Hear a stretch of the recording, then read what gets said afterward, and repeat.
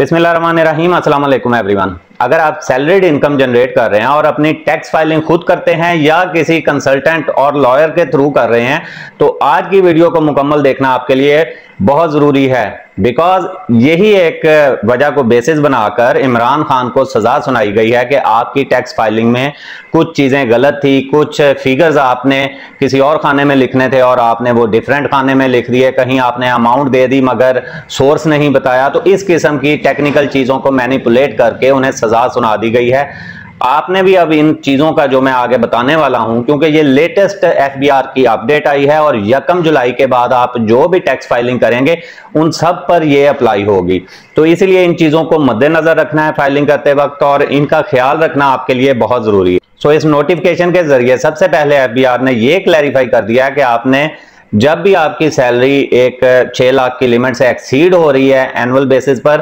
तो आप tax bracket में आ रहे हैं और आपने उसके ऊपर टैक्स फ़ाइल कर देना है। दूसरी जो अहम बात इसमें एफबीआर ने क्लैरिफाई की है इस नोटिफिकेशन के ज़रिए, उसमें उन्होंने बताया कि सैलरी का मतलब सिर्फ़ आपकी नेट सैलरी नहीं है, बल्कि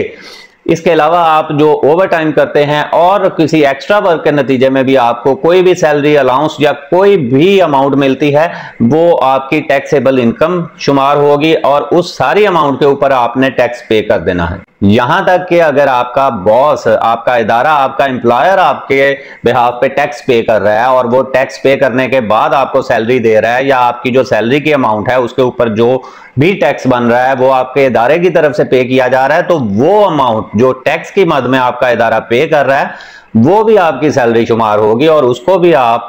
रिटर्न फ़ाइल करते वक्त अपने इनकम में ऐड करेंगे और उसके ऊपर जो भी एक्सेसिव टैक्स पे करना पड़ेगा, वो आप पे करेंगे। यहाँ तक कि आपका जो खर्चा हो रहा है, जो एक्सपेंस हो रहा है, जो आप अपनी प्लेस ऑफ़ वर्क तक आने जाने के लिए कोई कन्वेंस का इस्तेमाल कर रहे हैं, उसमें कोई फ्यूलिंग कर रहे हैं, कोई लोकल ट्रांसपोर्ट को यूज़ कर रहे हैं, आप इवन वो अमाउंट भी अपनी सैलरी से डिडक्ट नहीं कर सकते।